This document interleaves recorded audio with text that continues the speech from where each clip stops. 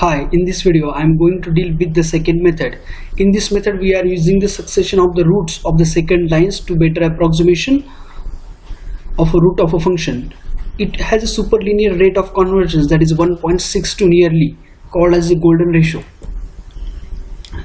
If uh, we are interested to, to, finding the roots of this equation f of x, uh, consider the graph of the function. Uh, this is the graph of the function y is equal to f of x. This is our function and this is the graph of the function if our initial guess is x naught then the value of uh, x naught uh, at this point is uh, f of x naught and this point is x naught comma f of x naught. We are taking two initial guesses in this method.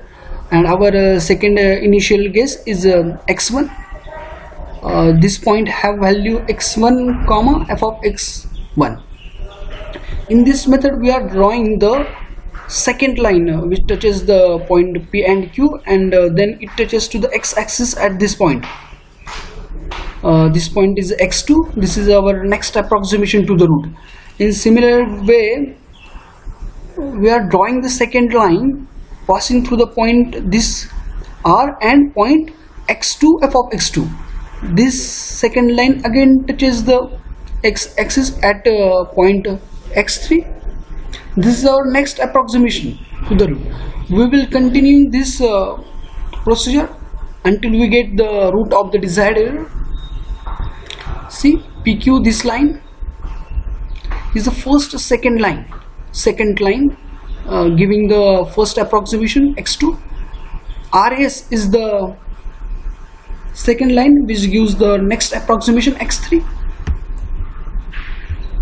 our interest to find out the formula for the secant method. Consider the equation of the secant line passing through the x naught f of x naught and x1 f of x1 the equation of the secant line is uh, y is equal to f of x1 plus x minus x1 into f of x1 minus f of uh, x naught upon x1 minus x naught. This is the equation of the secant line passing through these two points. As the line touches the point x2 comma 0 see this line uh, PQ touches uh, at this point x2 this uh, point is x2 comma 0 we are just putting the value. Y is equal to 0 and x is equal to x2 rearranging the term we get x2 is equal to x1 minus f of x1 into x1 minus x0 upon f of x1 minus f of x0 in general we can uh, calculate xn plus 1 is equal to xn minus f of xn into xn minus xn minus 1 upon f of xn minus f of xn minus 1 this is the general formula for the secant method. Here are here are some advantages and disadvantages of the secant method. Uh, this method converges faster than the linear rate. That is it has a higher rate of convergence than the bisection method. It does not require the derivative of the function. That is uh, it require only one function evaluation per iteration. As uh, we have seen in uh, Newton-Raphson method require two function evaluation per iteration. Uh, this method have also some disadvantages. It may not converge or uh, there is no guaranteed error bound for the computer iterations. Uh, see, I have explained how to solve the problem based on this secant method. f of x is equal to x cube minus 5x plus 1. We are interested to find some iterations by the secant method. Uh, here is the function f of x is equal to x cube minus 5x plus 1 uh, we are interested to find out the interval in which the root lies. If you don't know how to find the interval uh, see the video related to the intermediate value theorem.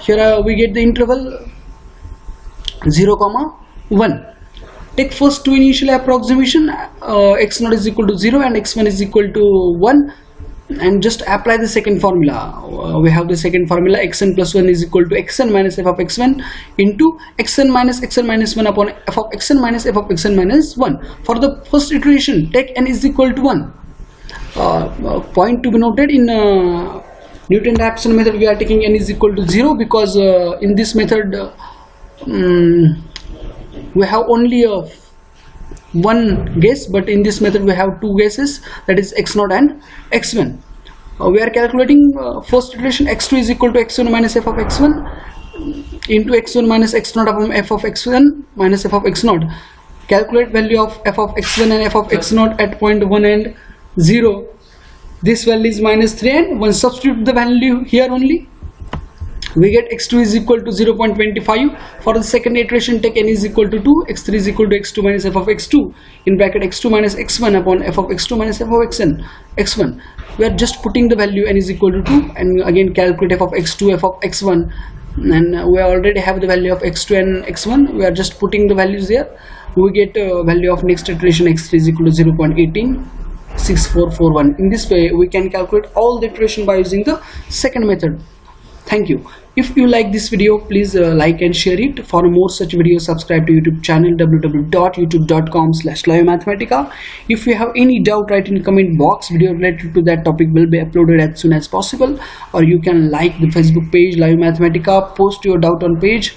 I will try to solve it in couple of days. Thank you